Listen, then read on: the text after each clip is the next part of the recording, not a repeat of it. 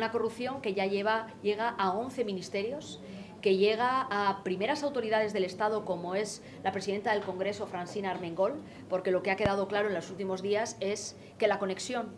de, con Coldo era la propia Francina Armengol y que, entre otras cosas, mintió